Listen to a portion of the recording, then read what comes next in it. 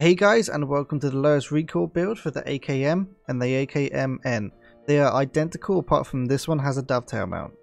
The entire build is going to be based off the AKM that you get from tier 2 from Prepper. This is the lowest recoil build. Let's get straight into this. Let's head over to Skier tier 2. We're going to need to get ourselves the RK3 pistol grip as well as the Zenit RP1 charge handle. Then we need to head over to tier 4. We need to get ourselves the Lantac Drakon 762 muzzle brake as well as the Zenit RK2 pistol grip as well as the Fab Defense PDC dust cover for the AK-74. Now we need to head over to Peacekeeper. We need to go to tier 4 and we need to get ourselves the Zhukov-S for the AK. Now, over to Mechanic, tier 3. We need to get ourselves the Strike Industries Keymod 6 inch guide. Then over to tier 4, get ourselves the VLTOR CMRD uh, Keymod.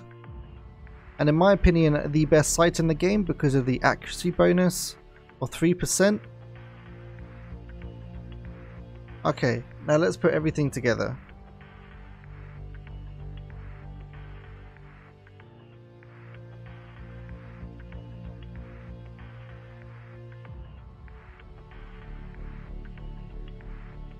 And this is the lowest recoil build for the AKM and the AKMN.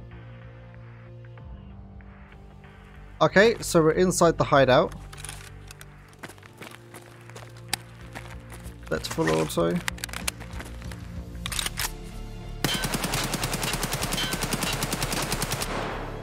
That recoil really isn't that bad actually.